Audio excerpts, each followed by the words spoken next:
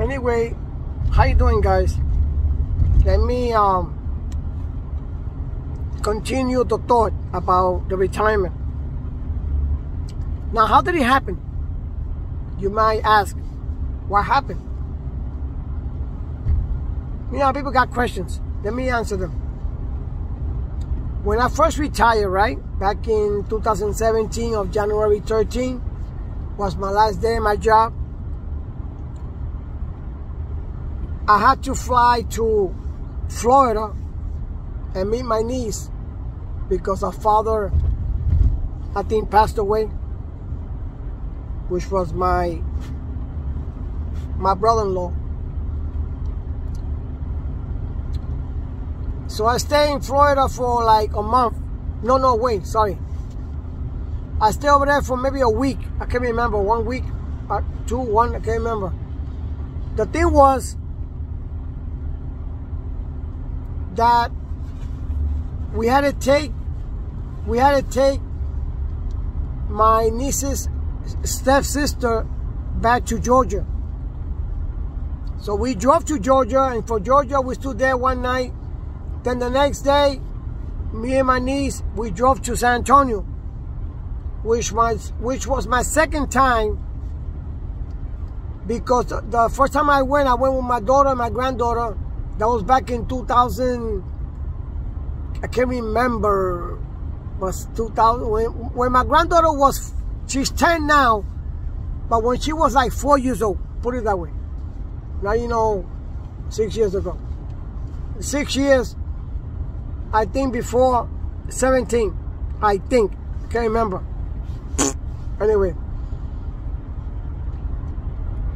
My granddaughter was born in 2011.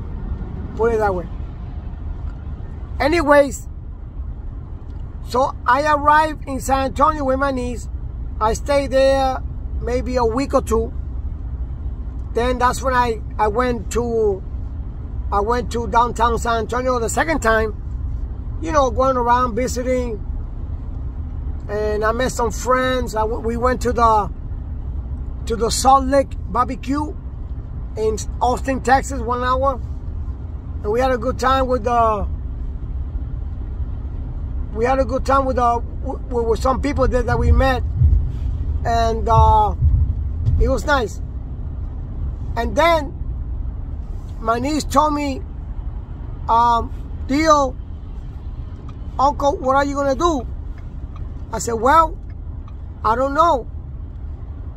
I don't know what to do. And she says well if you want to you could take my car and just go wherever you want to go and I went, go where? I said, you know what? That's what I'm going to do. I took, my niece gave me her car. And because, see, many years ago, I used to hear a lot of bad, bad reports about California and all that stuff. I used to hear a lot of bad reports, people getting killed, all that crap, whatever. And then I was afraid to go west. I was always afraid to go west. And remember, I, I lived in New York 56 years. So finally, I'm in San Antonio. My niece gives me her car. And I said, you know what? I'm going to go west. Yeah, I'm gonna travel west. That's what I'm gonna do. And my niece told me, hey, Theo, that's a good idea. That's an exciting idea. Take my car and leave and just go and enjoy yourself and do whatever you want to do. I don't care. So that day, uh, I was there maybe two weeks, right? And that night, around 7 o'clock at night, 7 o'clock, I went to sleep. I went to rest. I rested three hours.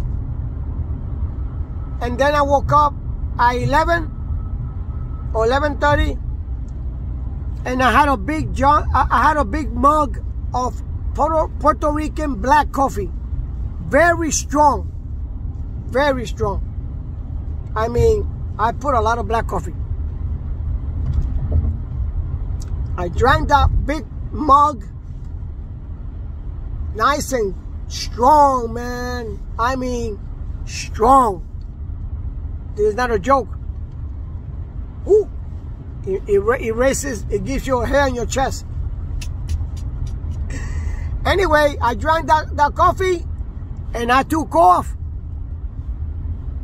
I took off and I drove 20 hours straight without resting. This is the blessing of retirement.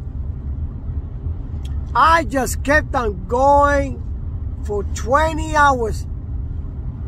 I got to San Antonio. I left around 1 o'clock in the morning. I got to San, I got to El Paso by 10.